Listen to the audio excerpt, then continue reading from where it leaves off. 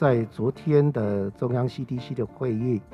特别请了农业局李文局长跟卫生局陈润秋局长两位局长参与，去了解在这个事件当中，需要新北市如何来做好协助。那至于中央有什么需要地方来做配合，我们去做了解。在这里我也特别说，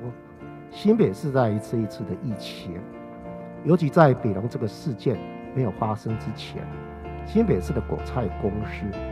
以及在这里面板桥跟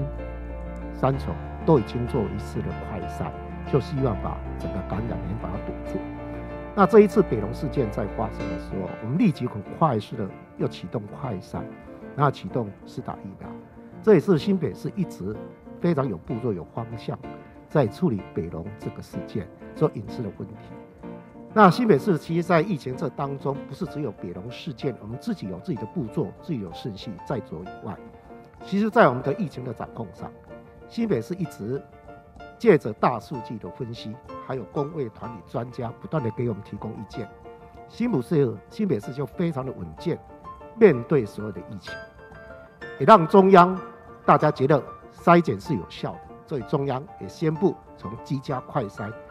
以及跟我们一起并肩作战的企业快筛也同时提出来，